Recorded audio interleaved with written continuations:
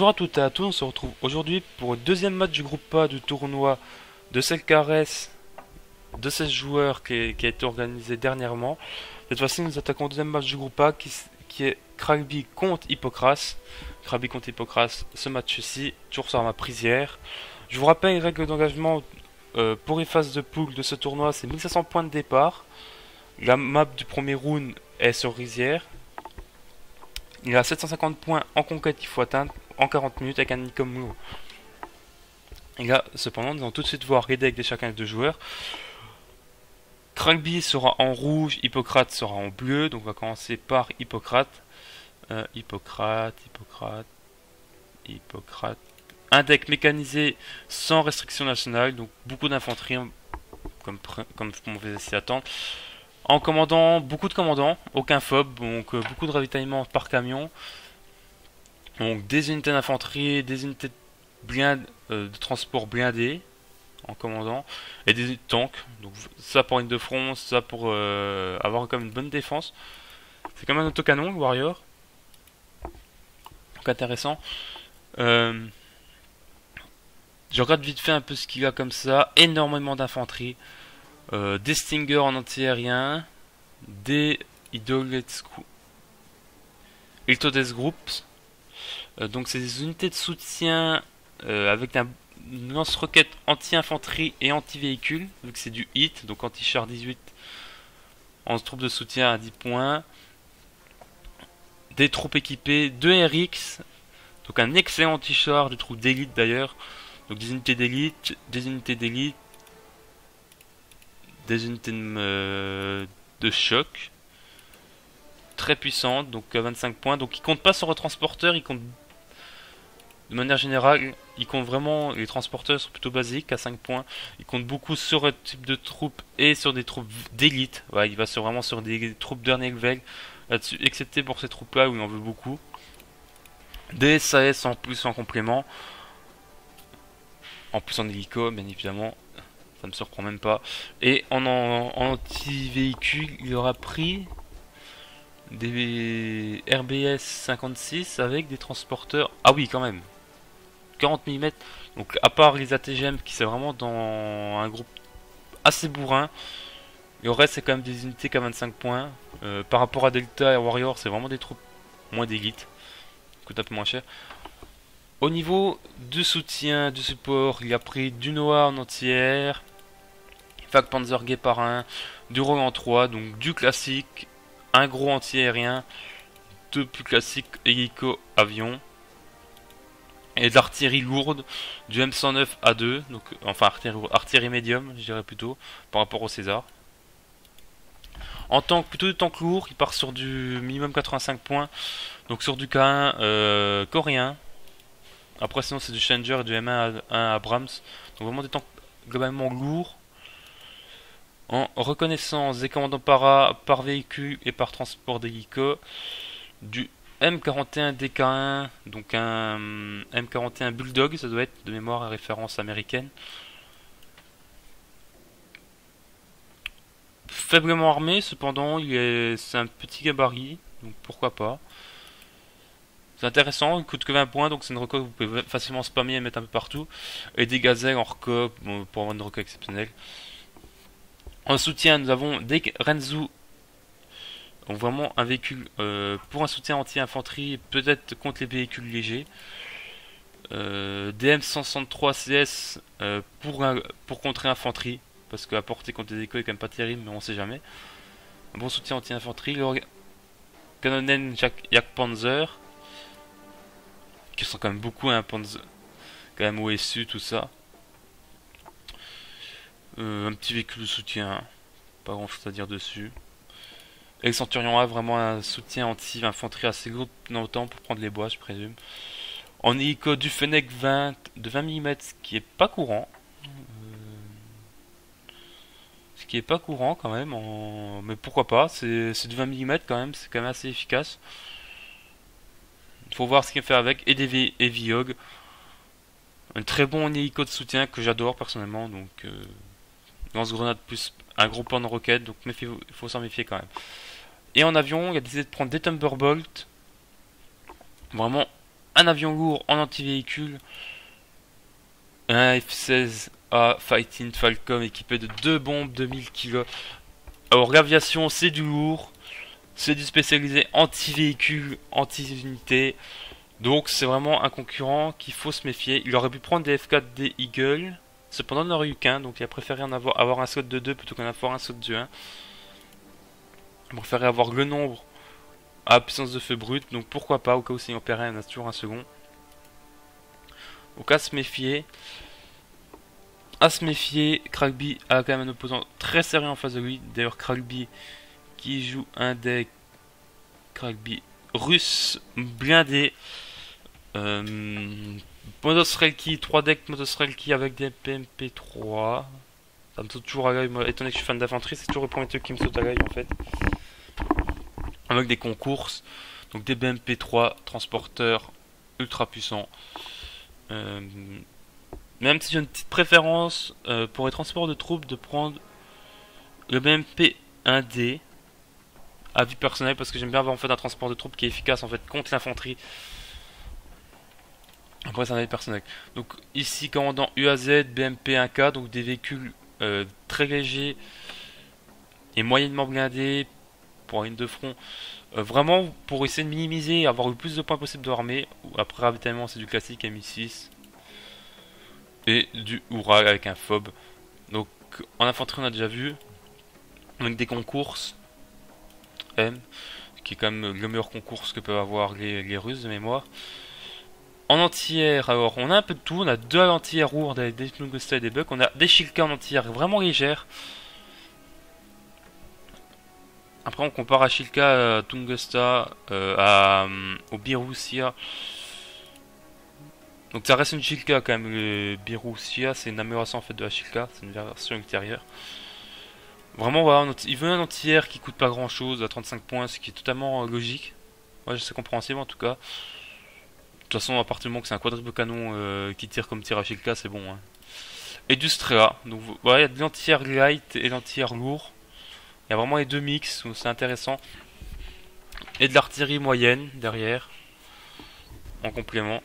Au niveau de tank, bon, ben, des tanks lourds. Le tank le moins cher, c'est le T80 à 65 points. Mais c'est quand même 13 de blindage.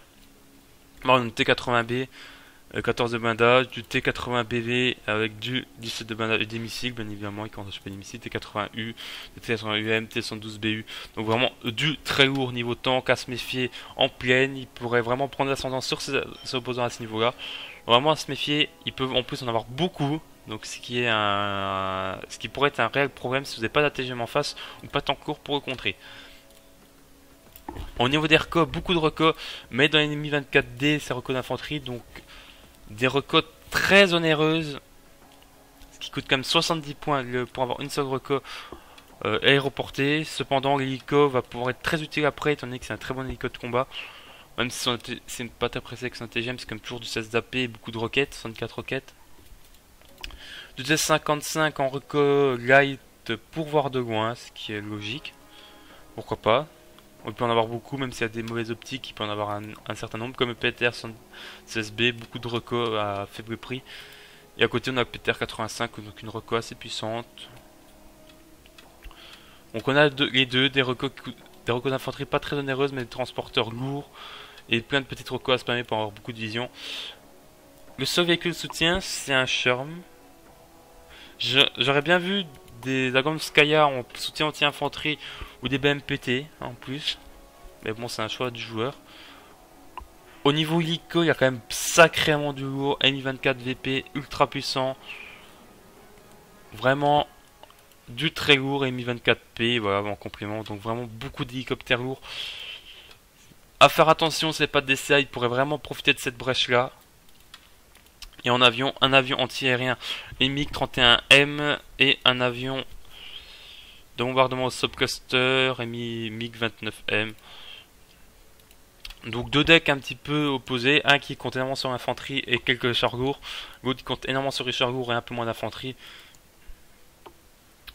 Donc il faudra se méfier. Donc, maintenant que nous avons vu ça, nous pouvons lancer le replay d'Hippocrate versus Kragby, le deuxième match du groupe A du round 1 sur ma prisière.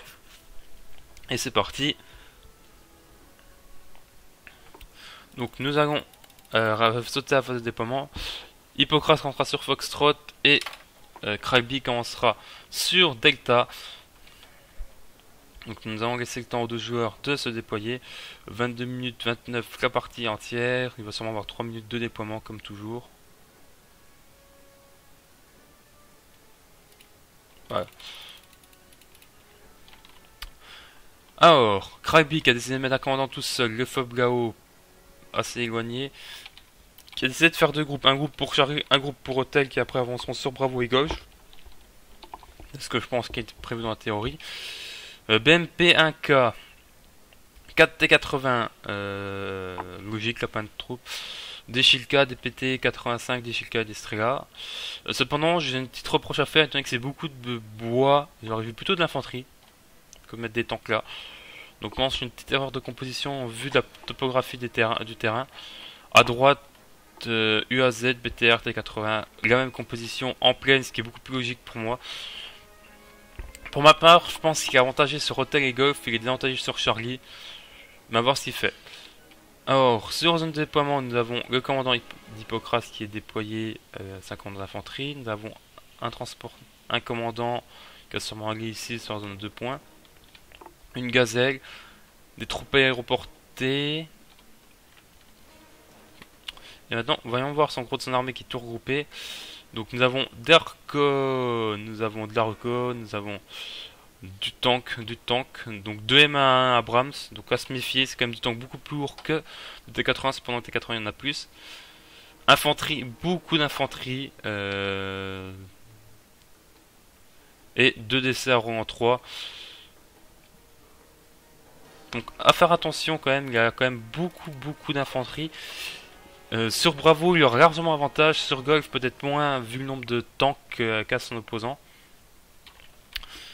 Mais à voir comment joue le joueur, et à une grande part de ce que fait le joueur. Hippocrate qui voit tout avec sa reco, excellent, excellent, il voit même où le commandant aller. Et du fait qu'il a vu à peu près où était l'unité ennemie et à vitesse où il y avait, d'accord, il y avait des points en réserve avec sa Team Falcom. Du fait qu'il a vu rapidement le convoi et qu'il se doutait probablement qu'il avancé tout droit, il a décidé d'envoyer un Fighting Falcon bombarder son convoi. Il aurait dû bouger dès que l'avion il a vu qu'il arrivait, il aurait dû s'arrêter et se disperser. Les bombes risquent de faire ultra mal.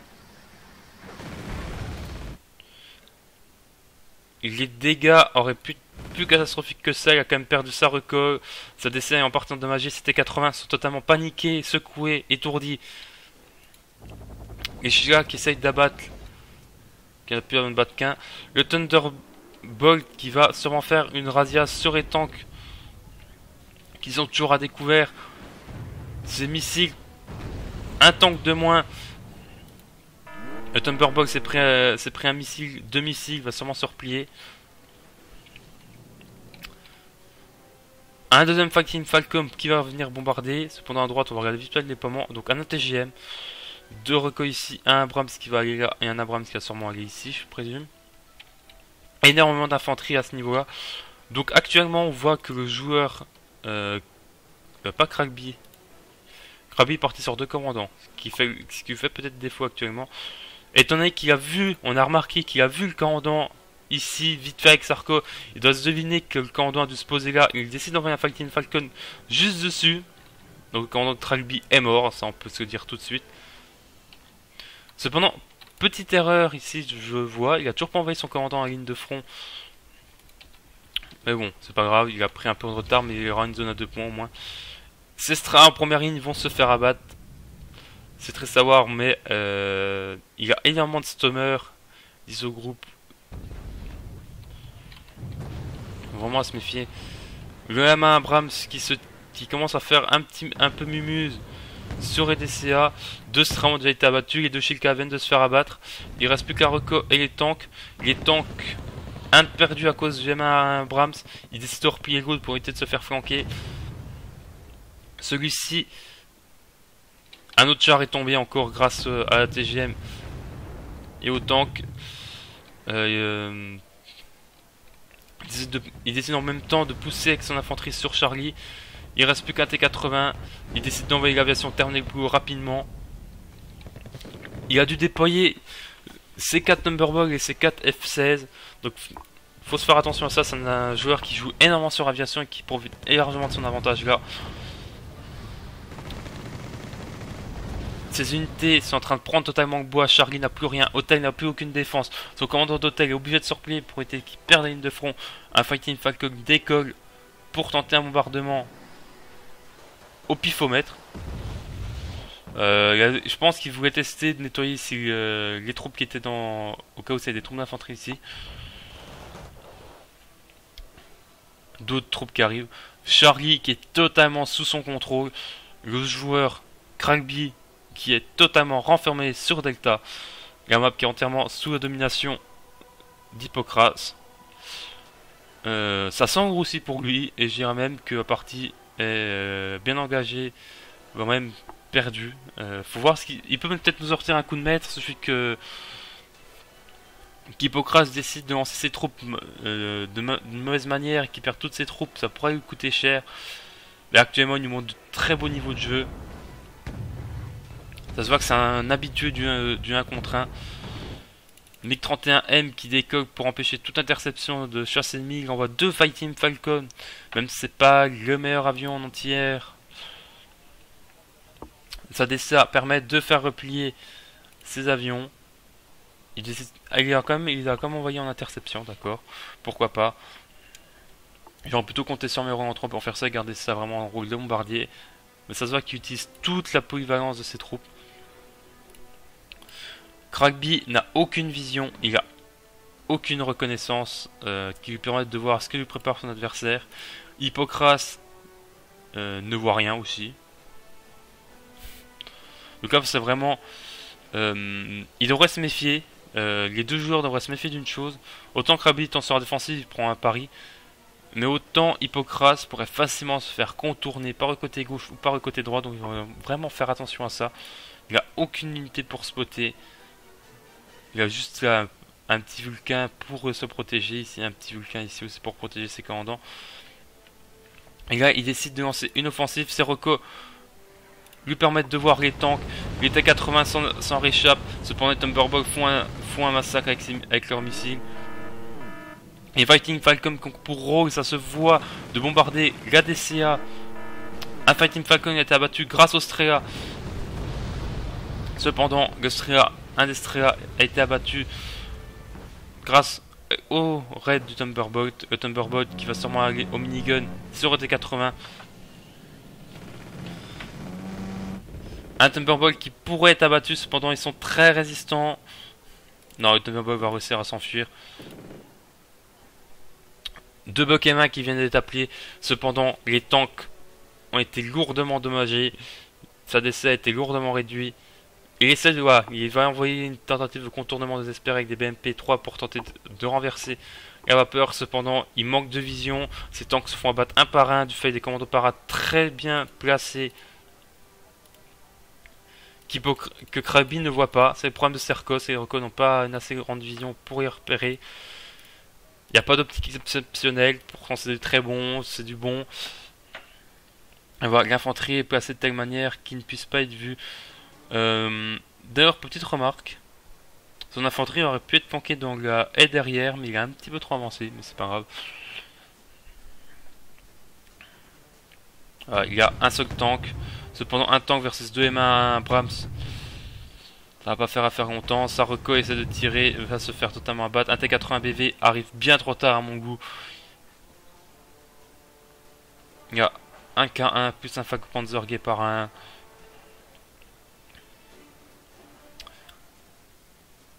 Donc là, c'est qu'une question de temps. Ces deux M1 Brahms avancent sur, sur T80. Il, il focus le T80 BV étant donné que c'est le plus puissant de tous il le fait tomber. Puis après, c'est plus des T80. Cependant, il perd quand même un Abrams. Ces deux Abrams sont tombés. Il perd un nouvel avion. J'ai pas eu le temps de voir c'était quoi comme type d'avion. C'est le deuxième Fighting Falcon. Il n'a plus de Fighting Falcon.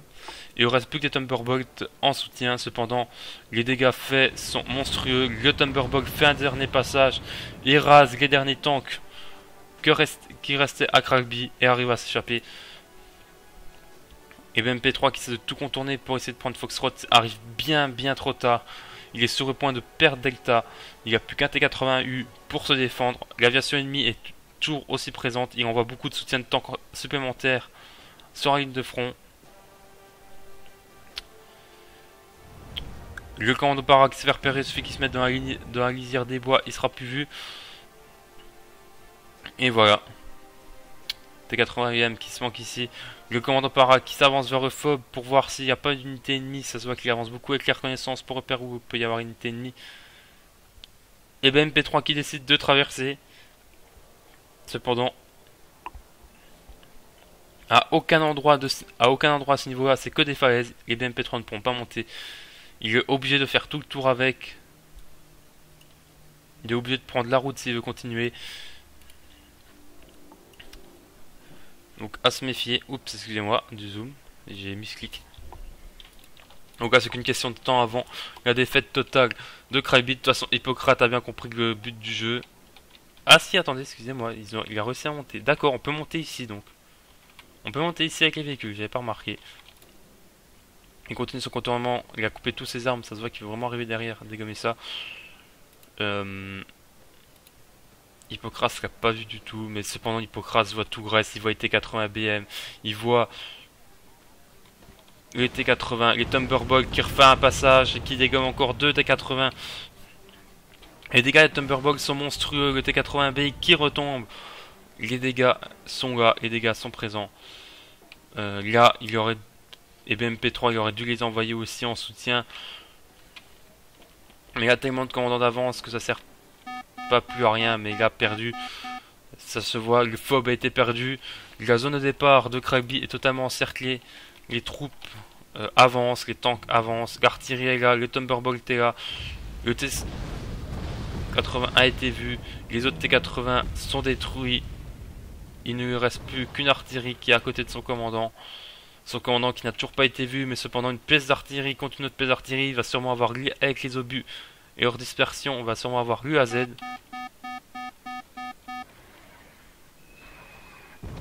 Le commandant qui a été détruit. Et Hippocrate qui remporte cette victoire en écrasant Krabi. Il n'y a pas d'autre terme. Euh, Krabi qui a tenté quand même de se défendre. Il a quand euh, s'est quand même donné à fond jusqu'au bout, ce qui est quand même euh, non regrettable. Hein. Il s'est quand même donné à fond, est, je le félicite pour son obstination. Cependant, son deck n'était pas adapté à la map. Euh, enfin, sa composition d'armée de départ était inadaptée. Euh, sur le côté gauche, il fait de l'infanterie, il a envoyé des tanks, et ça lui a fait énormément défaut. Le problème de reconnaissance aussi. Après, faut voir s'il arrive un peu plus à stabiliser le front, comment ça se passe. Sur des maps plus ouvertes, ça serait beaucoup plus à son avantage, euh, je dois admettre. Mais faut faire attention, l'aviation a fait énormément de dégâts aussi sur sa composition d'armée. Donc on sait qu'aussi le gros point fort d'Hippocrate c'est qu'il est énormément sur aviation. Il faudrait faire attention ça ne se retourne pas contre lui, qu'un joueur ne comprenne pas que c'était repose beaucoup là-dessus, car ça pourrait vraiment lui faire du dégâts. Et étant donné que les replays sont accessibles pour tout le monde, je dirais de faire attention euh, à Hippocrate. Cependant, il joue quand même plutôt bien. Malgré tout ça, il a quand même des unités entières. Il, il est assez offensif en début de partie, mais il joue bien. Donc vraiment, bravo aux deux. Euh, désolé Krabi, même s'il a montré quand même une bonne optimisation, un bon niveau de jeu, euh, il s'est fait rouler dessus. Hippocrate, a été juste meilleur. Je n'ai pas d'autres termes à dire. Il a fait son mieux, il a tenté plein de choses, plein de tentatives désespérées, mais il manque de vision. Il a été très préjudiciable. Peut-être que le deck blindé n'était pas une bonne idée de deck à voir, dans la suite du tournoi. Peut-être qu'il va gagner les deux, autres, deux prochains matchs. Mais ça, on verra bien au round 2 et au round 3. Donc, euh, encore bravo aux deux joueurs qui ont participé. C'est ainsi que nous terminons le groupe A. Nous nous attarderons bientôt au groupe B. Quoi qu'il en soit, je vous dis à une prochaine fois pour la suite du tournoi. Mais d'ici là, portez-vous bien et à ciao tout le monde